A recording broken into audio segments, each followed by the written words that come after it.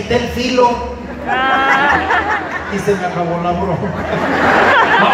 No, nomás en el nombre, fíjate, ¿cómo estará jodido el nombre de Teófilo que ni la Coca-Cola lo puso en la lata?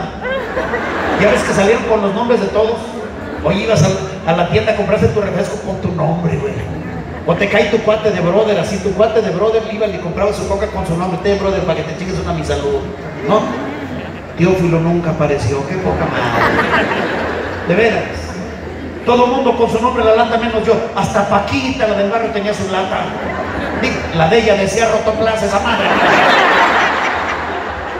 El otro día llegué con mi tía y dije, tía, encontré una lata con tu nombre.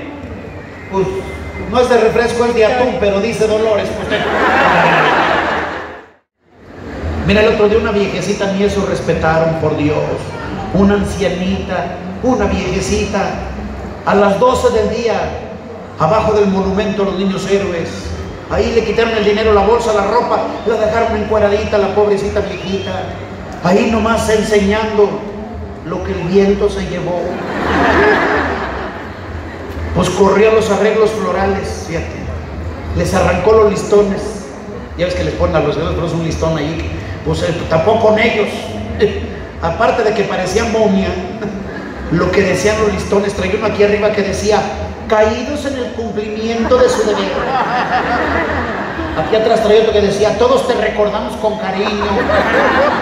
Y adelante traía otro que decía, héroe de mil batallas, descansa en paz. Régulo y Madaleno, pero creo que el más querido, pues Tizoc. ¿Se acuerdan de Tizoc?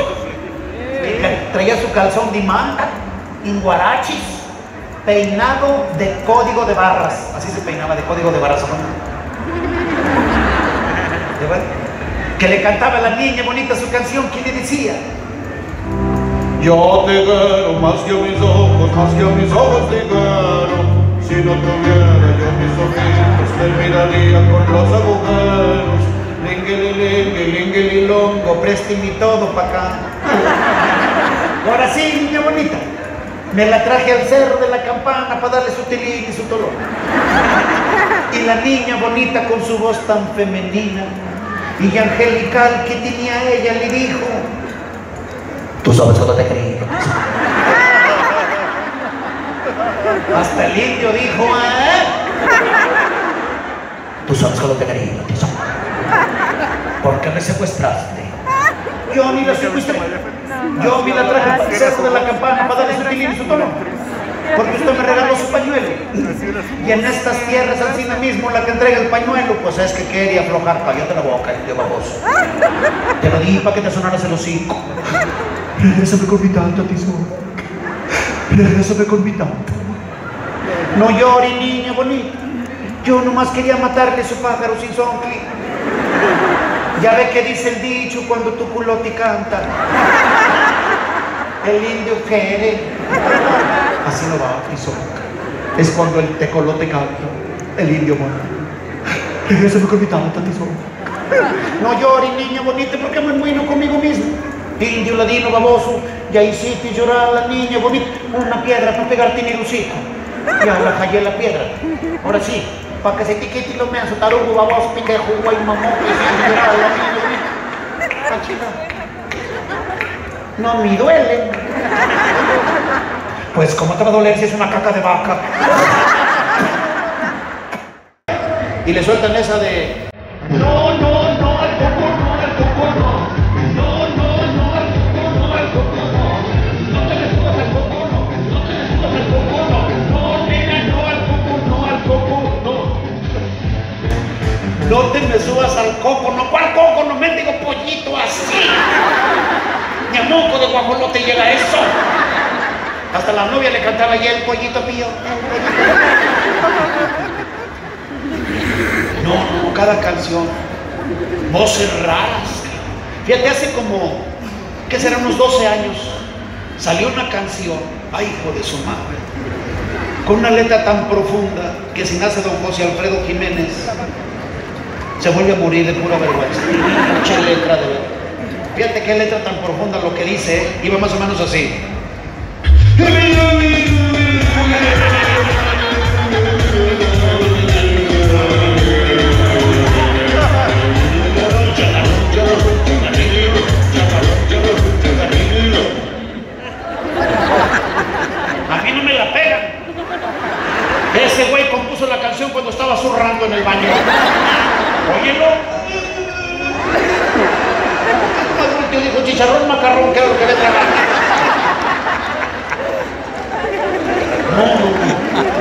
canciones de ahora de veras.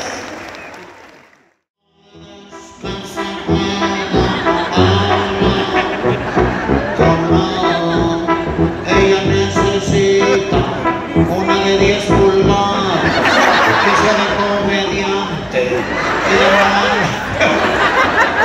Miren, lo escuchó Pavarotti y se murió el gordo. ¿Qué es eso? Le tronó el corazón, los pulmones, el hígado, los riñones, creo que hasta la próstata le tronó, se murió. Pero nos dejó el Andrea Bocelli. Qué bonito canta el Andrea Bocelli, ¿verdad? Por ti volaré. Ay, ¿ya vieron el coche nuevo que se compró Andrea Bocelli? No, ni él tampoco. Pero imagínense a don Luciano Pavarotti cantando ópera italiana.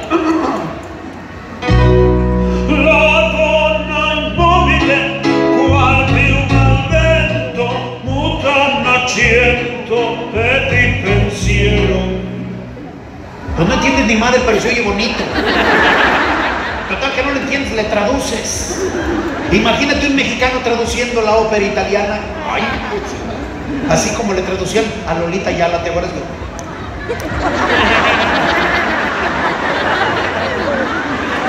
Que se le cayó el helicóptero. Es una dona inquieta, en movimiento, como que no haya su lugar. Qual piuma al vento, Un perito al aire, pluma al viento. muta naciento Te deja mudo y sin acento. e di pensiero. Te da ganas de ser pendenciero y romperle el hocico al que se lo echó porque ay, hay unos que no truenan, pero como arden los ojos. Oh, Hay unos que se llaman pedos ninjas, silenciosos y te matan. Hay otros que se llaman de Yodex. Los de Yodex son los que deshacen las bolitas. Cuando comes policía, quítale la macana, güey. Miren, en paz descanse el Valentín Elizalde.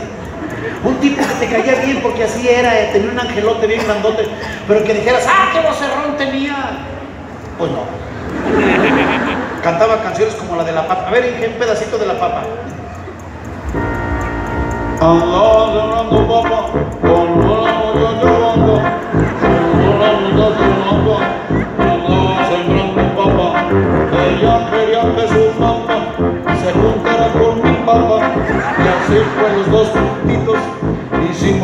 De papa. Oye, es que Juan Gabriel es el único artista que se ha metido un pleonasmo. Un putazo. Explíqueselos, comadre, porque nadie le entendió. Los mexicanos somos muy dados a hacer pleonasmos, decir lo mismo dos veces. Súbete para arriba. Pues ni modo que para abajo. Súbete para arriba, bájate para abajo, métete para adentro, salte para afuera, viejo baboso.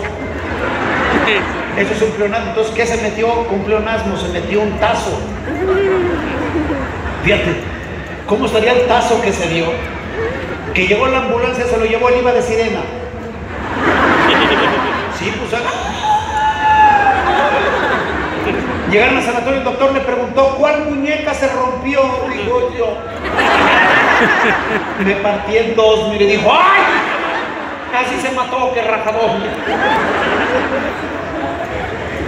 Y es que dicen, están saliendo del closet, mam, me están saliendo del closet, del ropero, de abajo de la cama, del estudio, del baño, de todos lados. Yo le dije a Ricky Martin, ¿por qué te saliste del closet? Dijo, ya no cabemos de tanto gordo, estás Dije, sí, pero dejaste la puerta abierta, tan salidero. Hasta el Tiziano Ferro salió, ¿se acuerdan? Yo también soy gay. Madre, ya sabíamos. Hace 12 años él dijo, las mexicanas son feas y bigotonas. Nunca dijo que las mujeres. Nada más dijo, las mexicanas son feas y bigotonas. La piensas, la ves desde esa perspectiva. No, si tan feas y bigotonas esas madres. Pero yo digo que no es lo mismo Tiziano Ferro que un ferro tieso en el... Como no es lo mismo Emeterio, Cadarzo, Saturnino, Guajardo, que meterlo, sacarlo, sacudirlo y guardarlo. Y no es lo mismo, te repito, el trato que te retrato el no.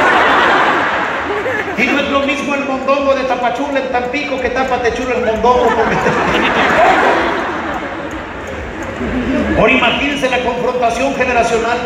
En México, un país de machos que de repente estén, nos estén ganando. Imagínate el papá que se da cuenta que el hijo es gay y le habla. Hijo, ven para acá. ¿Qué pasó, papacito? Chulo barbiringo. A ver, me acabo de enterar que eres gay. Pues sí, papito chulo, todo yo soy gay. De pies a cabeza me protejo, me protejo. Hijo, ¿y por qué no sacas al hombre que tienes adentro? Joaquín, sal y no vayas de Dios. Belleza. Con una amiga nueva y luego te reclaman, ¿y esta quién es? Y la otra, esta tiene su nombre. Cállate, imbécila. Imbécila. Cállate, imbécila. Conmigo no te metas porque soy una perra y te araño. Perdóname, pero discúlpame, te voy a hacer un desprecio de perra, fíjate.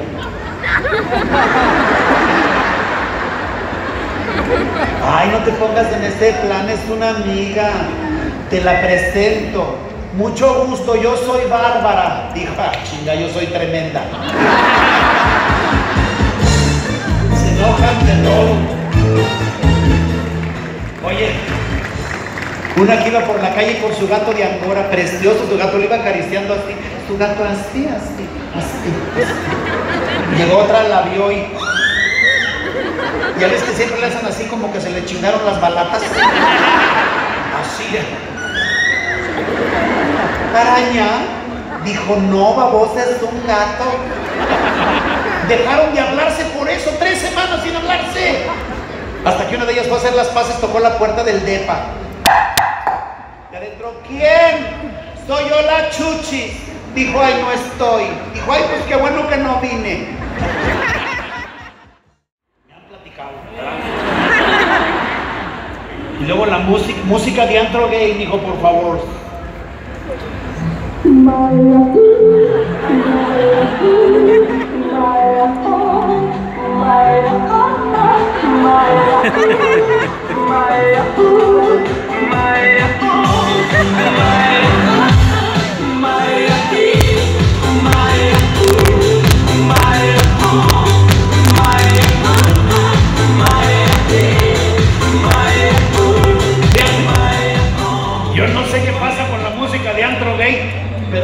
pero se te alborota el joto que traes adentro.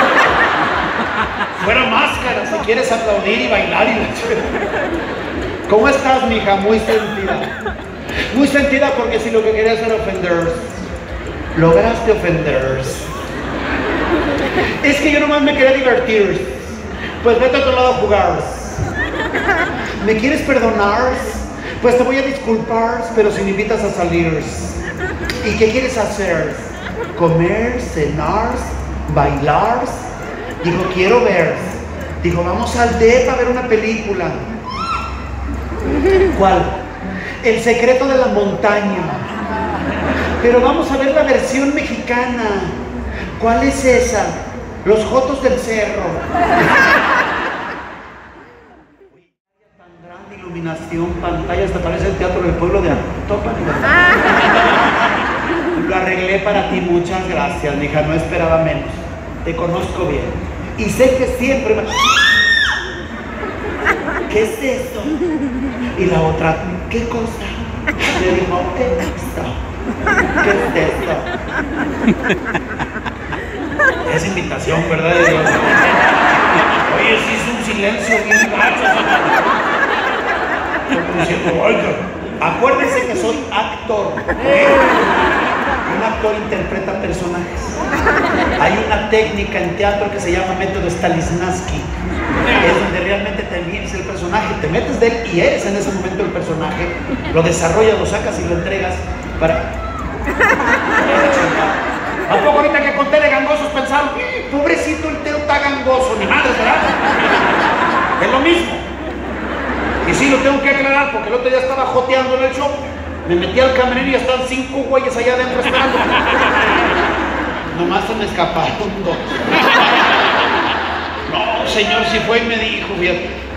Un señor fue y me dijo que si esa noche me iba con él, me regalaba este reloj. Ahorita traigo ganas de una medallita. No, ya le dice, ¿no? ¿Qué es esto? Y la otra, ¿qué cosa? Le dijo, esto. Cada día me cuesta menos trabajo. ¿Qué es eso? Dijo, ay, es una perra. ¿Eso es una perra? Digo, sí, es una perra. Pero no tiene patas. Ah, dijo, así nació, es una perrita que nació sin patitas. Ay, pobrecita la perrita. ¿Y cómo se llama? Dijo, no tiene nombre. Ay, ¿y por qué no le pones nombre? Digo, ¿para qué? Si el diablo no va a venir. Qué poca madre. Imagínate la perra caminando como perro salchichas.